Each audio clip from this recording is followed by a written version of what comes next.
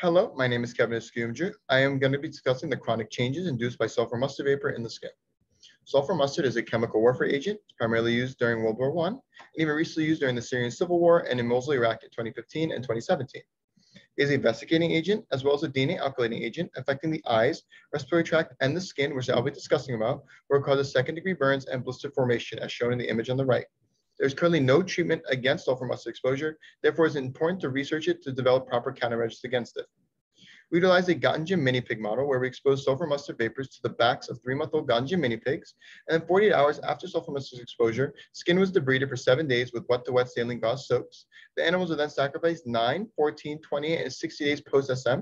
And then full thickness skin biopsies were prepared for histology and immunohistochemistry. On the left is our histological stains that we used, which is an H&E stain and a trichrome stain. Trichrome being a counter stain to H&E, utilizing a dye called aniline blue, which stains type 1 and type 3 collagen in the dermis, a royal blue color. And then in the left, you see control skin with H&E stain, a normal stratum corneum, a normal epidermis, and a normal dermis.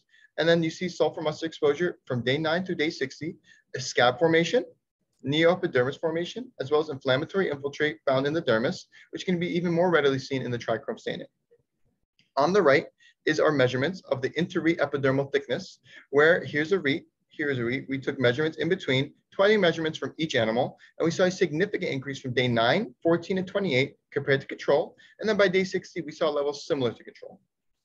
We then utilized an immunohistochemistry technique where we looked at proliferating cell nuclear antigen, a protein and a marker for cell proliferation. In the control skin, we see contiguous expression along the basal layer of the epidermis as indicated by the star.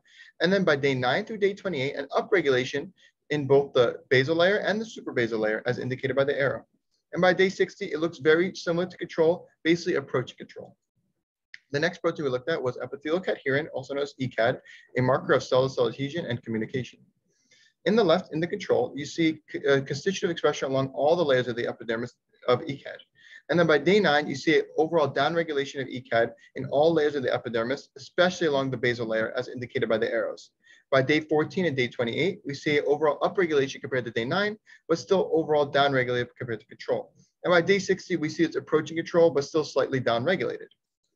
And then finally, and in conclusion, these data indicate that sulfur mustard alters epithelial cell adhesion and proliferation, causing delayed wound repair and enhancing the wound healing process may be an effective route for developing sulfur mustard countermeasures in the future.